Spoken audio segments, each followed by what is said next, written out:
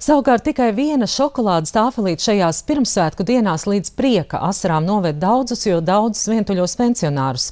Pateicoties jums, viņi tagad zina, ka nav aizmirsti, un Latvijas dzimšanas diena ir kopīga svētki mums visiem. To, cik patiesi ir katrs paldies par Ziedot LV un Latvijas televīzijas kopīgi rīkoto šokolādes apsveikumu, nu zina arī Karina Rubena. Lūdzu. Labdien! Labdien! Veltai Kalniņai ir 86 gadi, un viņas dzīve šobrīd rit starp mīļo fotografijām un gaišām atmiņām, jo Dievs bērniņus nebija lēmis, bet visas draudzenes un arī mūžam smaidīgais vīrs nu jau aizgājis aizsaulē. Taču Veltas kundze saka, cenšos būt optimiste, jo drūmas domas neko labu nedod.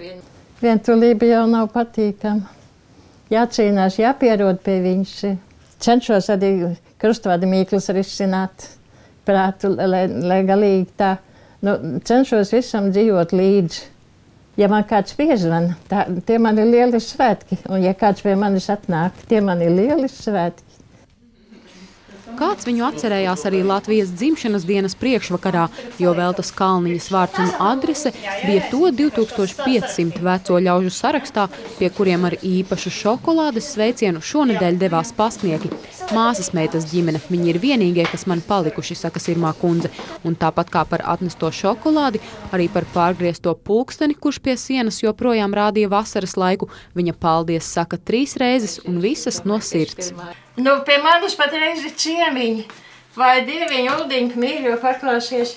Televīzijā man panorāmā mani, mani fotografē un te, vai dieviņi, vai dieviņi. Nemaz tā nebija gatavojusies, nemaz. Pati dzīves pieredzes rūdīta, Veltas kundze cer, ka jaunieši tik kuplā skaitā Latviju vairs nepametīs.